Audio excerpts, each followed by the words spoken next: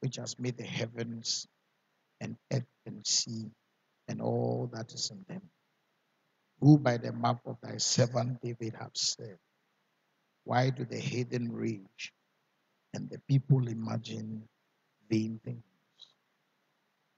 The kings of the earth stood up, and rulers were gathered together against the Lord and against his Christ. For of a truth, against thy holy child Jesus, whom thou hast anointed, both Herod and Pontius Pilate and the Gentiles and all the people of Israel were gathered together for to do whatsoever thy hand and thy counsel determined before to be done. And now, Lord, behold, are threatening. Behold, they are threatening, and grant unto thy servants that with all boldness he may speak thy word by stretching forth thy hand to heal, and that signs and wonders may be done by the name of thy holy child, Jesus. Hallelujah. That is all I want to read. Where I love is, he said, Now, Lord, hold their threatenings and grant unto thy servants that with boldness they may speak thy word by stretching forth thy hand to heal, and that signs and wonders may be done by the name of thy holy child, Jesus. That part is what I love. I see three things in the text to preach the word with the word with boldness, to find healing by the hand of God, and to work signs and wonders by the name of Jesus. Now, let me tell you one thing. If we take the supernatural out of Christianity, we what we have left is an empty philosophy that destroys. If we take the supernatural out of Christianity, if you take out healings, signs, and wonders, out of the practice of Christianity, what we have left is a hollow philosophy that destroys. The letter killeth, but the spirit gives life. There is no Christianity if there is no power and the manifestations of healings, signs, and wonders. Tonight, as we come to the Lord's table, if there is one thing we are desiring that the Lord would activate among us, it is the manifestation of the supernatural. We don't want to be believers who just believe a word that is written. We want to grow to become believers who are walking in the manifestation of the word. In the beginning was the word. The word was with God, but the word became flesh. In the beginning was the word. The word was with God, but the word became flesh.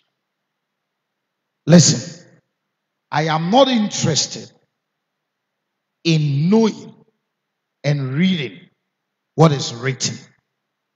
I want to be able to touch, taste, and handle what is written.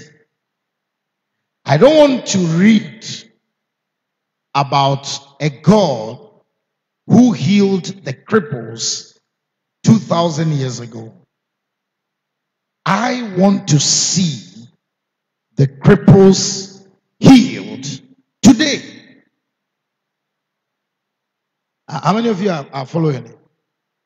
I don't want to preach about miracles. I want to give you the God of miracles. When the church of God felt threatened, they prayed for boldness to declare and the hand to perform. They didn't go to court. They didn't demonstrate. They didn't insult anyone. They gathered and they prayed for the boldness to keep preaching and the hand of God to bring them manifestation. Listen to me. If we allow anyone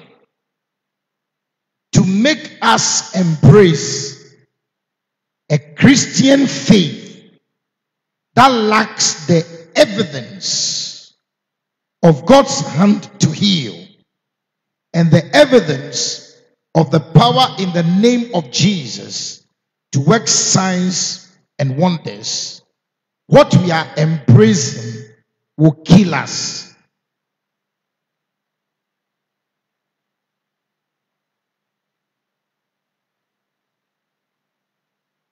Listen, if you embrace a faith that tells you as a young woman not to marry a rich unbeliever who can take good care of you under heaven. And that dogma lacks the power to make the young believing man you are marrying rich. Will kill you. Say amen. Listen, I don't want you to embrace a faith that tells you not to go to the fetish for healing and yet lacks the power to heal you. Do you think it makes sense? That over kwakwa chiro bi say onyame kyira bosomsom. Itime nkɔ bosom so. Nkɔpa yaresa mfi dunsini hɔ. Woka saa nsɛm a na waka kyerɛ sɛ ne yareɛ mpa so mu ama ne. Is that what you are trying to tell me?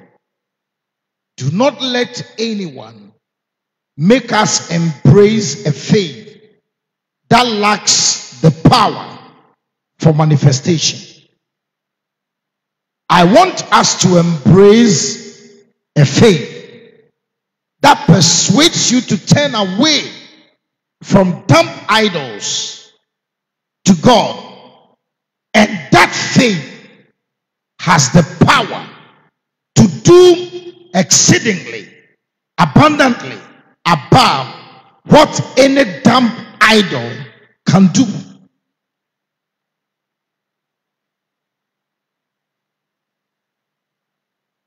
Shadrach, Meshach, and Abednego did not force the king to worship their God. They produced evidence that the gods of the king cannot produce. And the king stood up and said, From today, only the God of Shadrach, Meshach, and Abednego shall be worshipped. Am I preaching? The king had a dream and called his magicians and wise men together and said, Come, show me my dream and the interpretation of it. Now, listen, I have said this on Friday, and I'm going to say it tonight. Daniel was not a preacher. There is nowhere in all of the book of Daniel that was said that Daniel ever preached to Israel. He didn't preach to anybody that came with him as a captive. The only people Daniel preached to, even that one was not preaching. It was a call for help. Daniel only told his friends. So, do you, do you know what that all of Daniel's life? What Daniel did was that, like you, one day just calling her, calling her, calling her, calling her the prisoner and say that there is a problem at my workplace. Think about it. There's a problem in your school. And you want to solve that problem. Can they spend three days fasting and praying with you? He didn't preach them. He only called his friends. Daniel had a problem. The king said, I'm going to kill my magicians. And the magicians said, Nobody can tell you your dream and the interpretation except someone in whom the spirit of the gods dwell. And the king said, If you don't tell me, I kill all of you. Then the magicians were worried. And when Daniel heard that the king was going to kill his magicians, he sent a message to the king and said, If you can give me three days, it won't be necessary to kill your magicians. I will tell you your dream and the interpretation of it. Daniel wasn't, you see, sometimes we are deceived by modern day jargons. The prophet Daniel. No, no, no. Daniel was just a statesman, an ordinary slave boy,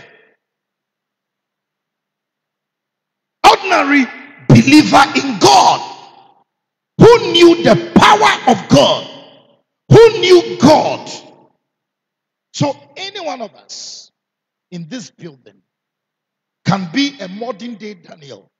You don't need a call to ministry to be a modern day Daniel. You just have to be someone who knows and believes in God. Simple. That is why in Daniel 11:32, Daniel tells us that, and those who do know their God, he didn't say, and those who are called into ministry. He didn't say, and apostles. He didn't say, and he said, anybody, any ordinary girl, any ordinary man, any ordinary person who knows his God.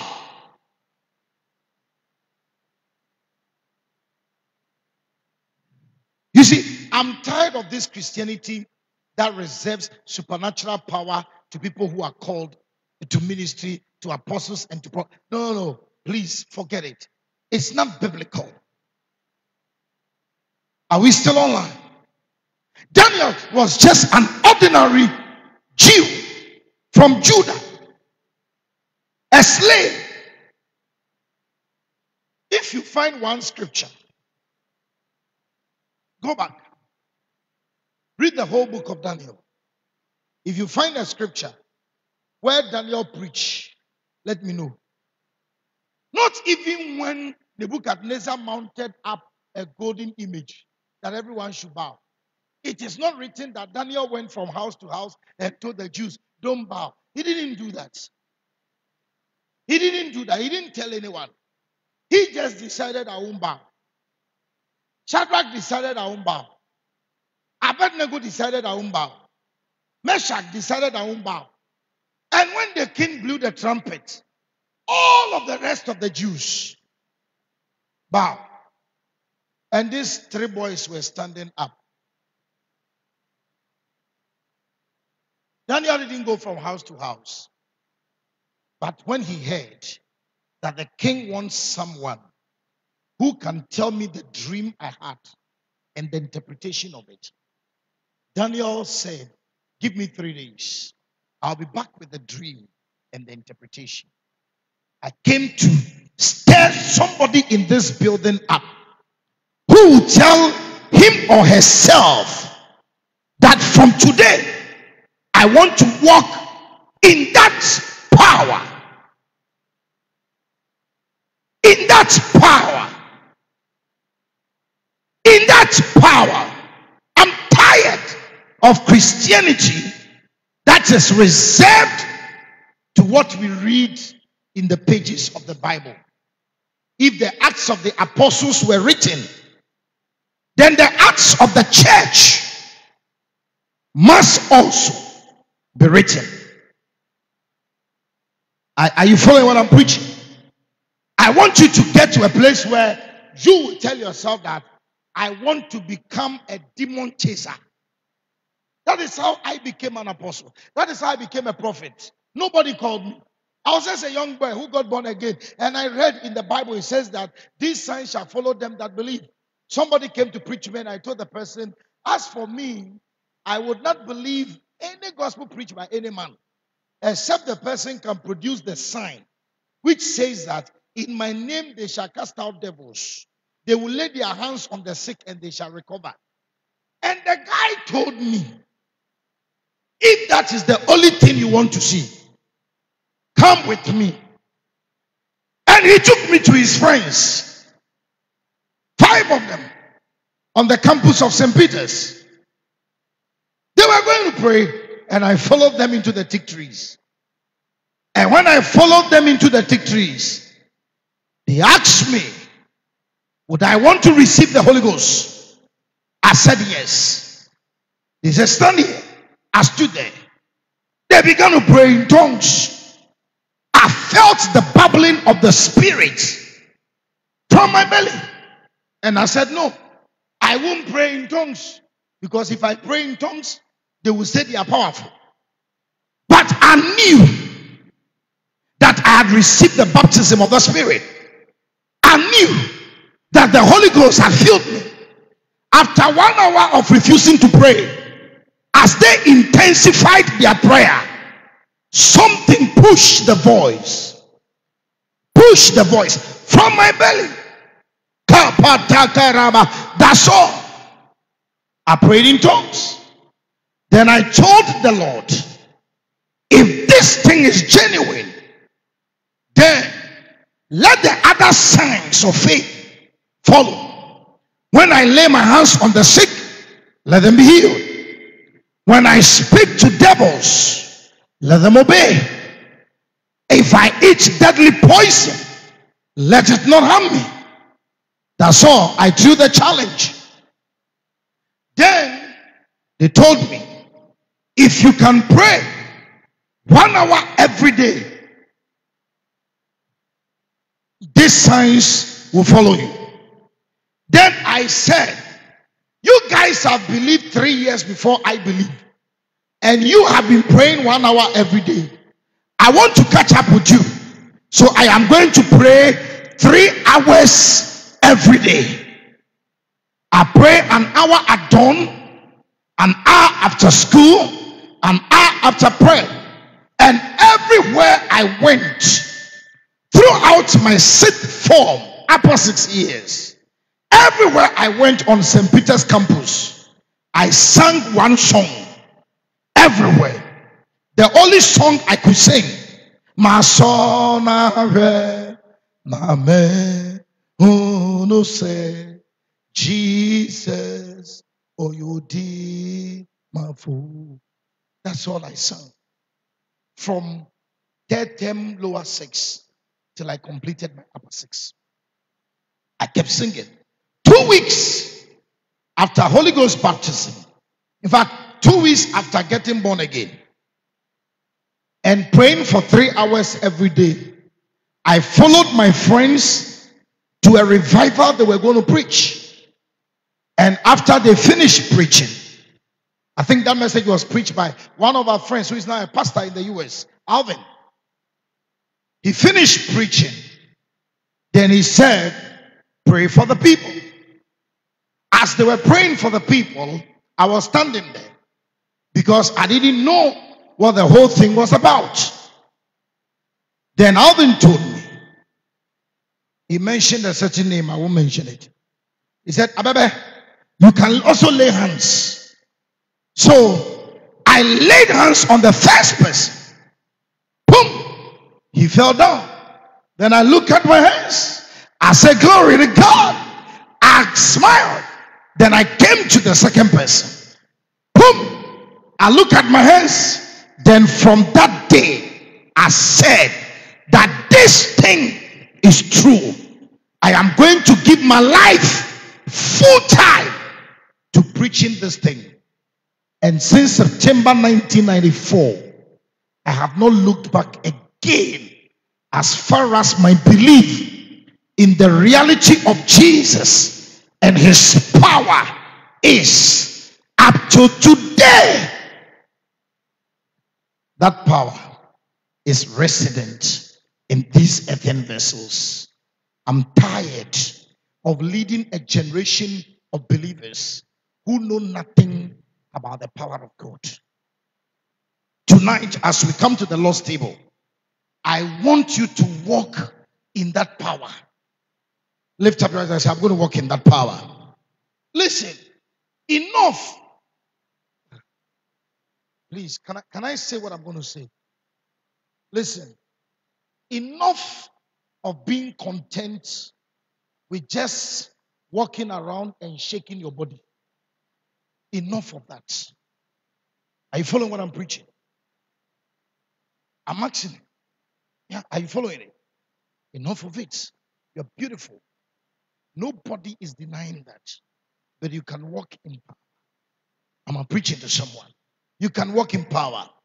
Don't limit your Christianity to wearing a black suit.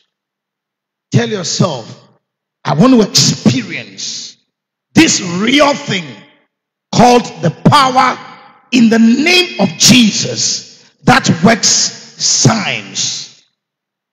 From today, when you go out and you preach, don't go and say too many things. Just say one thing. There is power in the name of Jesus. Power to save, power to heal, power to deliver, power to empower, power to prosper. There is power in the name of Jesus. There is power. Just speak that. Challenge the people about the power in the name of Jesus. Tell yourself as you go to bed, stand up upon your bed and say, I believe there is power in the name of Jesus. No devil mess up my mind.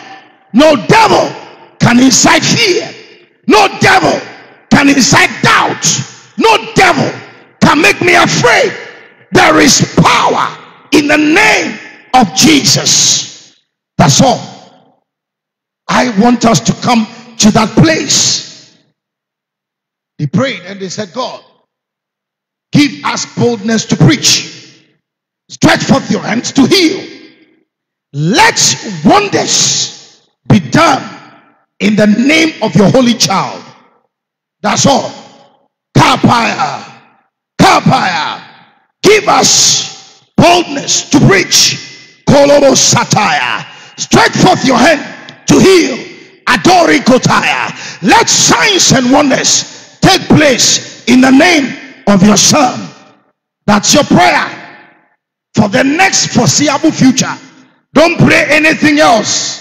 Stretch forth your hand, oh God. Heal the sick in my church. Stretch forth your hands, oh God. Heal the sick in the church. Let signs and wonders take place in the HighCity. Give us boldness to declare your word. Oh God, boldness to declare your word. Oh God, you strike forth your hand. That's all.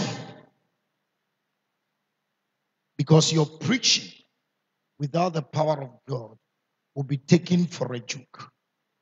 The world will continue to mock at the church until the day when Herod, after delivering a speech, and taking the glory to himself, fell down and died.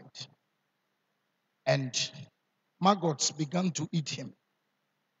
Would anybody tell a politician not to speak nonsense against the church? The church is too weak. That's why anybody can open his mouth and speak nonsense. Let power return to the church. It doesn't have to take thousands of people, it has to take one man. In the days of Jesus, he stood out. Today is the birthday of one of the great generals of the Lord, Bishop David Oyedepo. And somebody wrote something and I like it. He said that one day somebody gave him an article to read about cars. And they say Benz is the uh, strongest car, BMW is the fastest car, whatever. Then he asked the person, How about Rolls Royce? And he said, Please, in matters like this, you don't bring the Rolls Royce because it is in a class of its own. And the person says that this bishop is in a class of his own. He's the bishop with a difference. And I think it makes a lot of sense. According to his testimony I heard this morning, in COVID era, they have built 7,000 churches. Not 7,000 souls. Not 7,000 souls. 7,000 churches. And they are looking forward to build 3,000 more churches before the year comes to a close. If this is not the work of God, forgive my language, is it the work of your mother? Can your mother do this?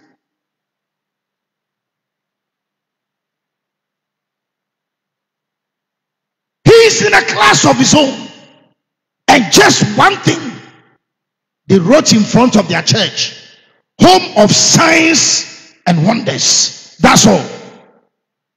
Nobody rolls on the floor, nobody jumps up and jet. Signs and wonders are everyday occurrence.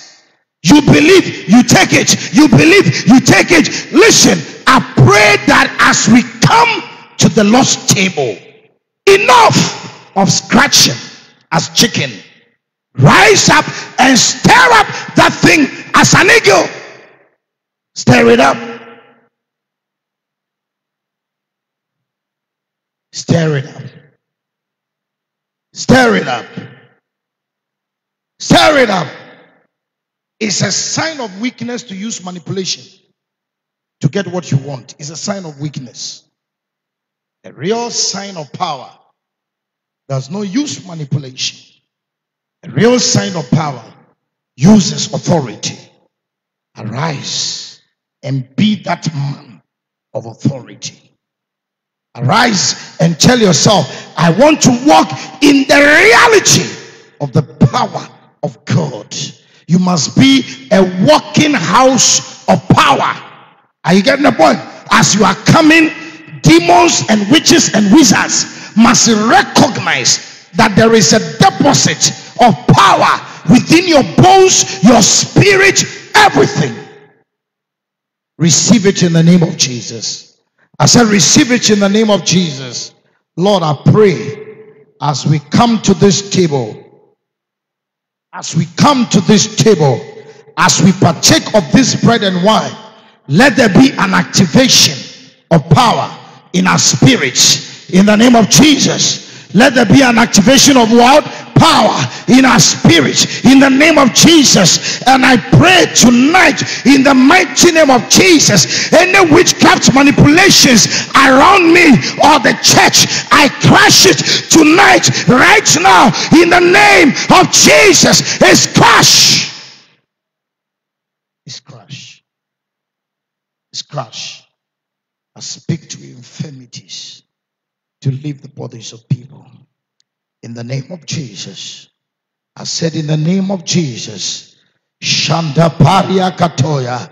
Intoloro shakaya. Badiozi sai. Karimahanto para. Ligibiri akaya. Patoyanta patia. Lei parakata. Fear. Out. Doubt. Out. Confusion. Out. Pain. Out. Out. In the name of Jesus. Get out out, out, out, out, out, out.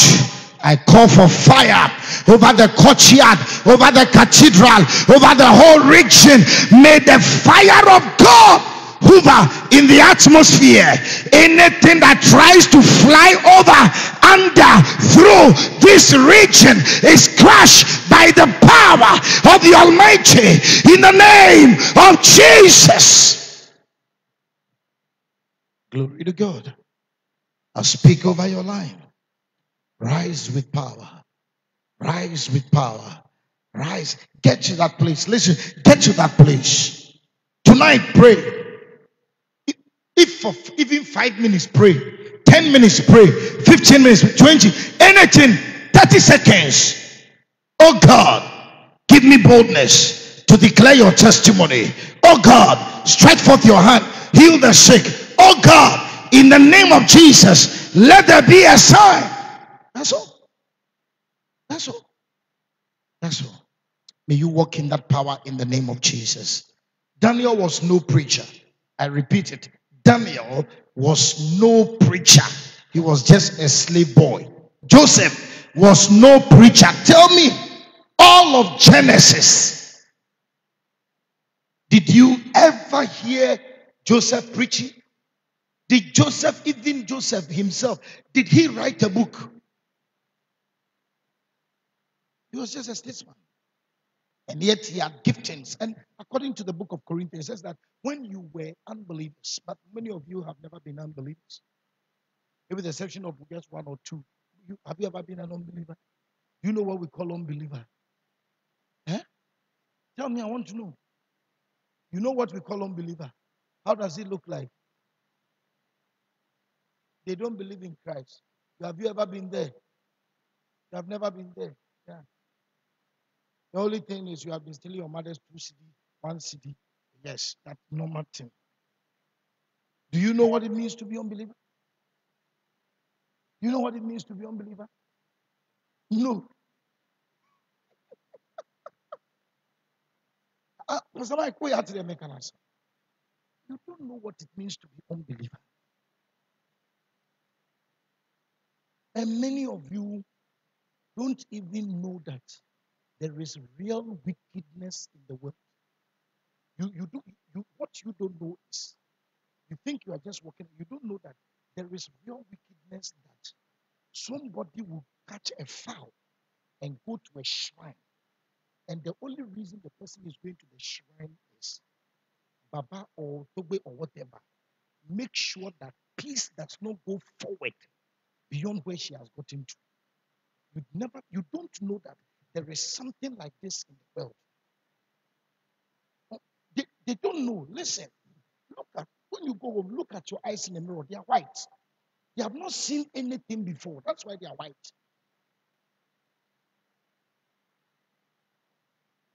Oh, yes. Even you, pastors, sometimes you feel like what? People are happy.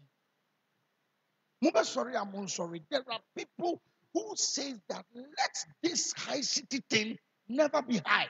Let it remain low. Because if it goes high, it will show that we are not working hard.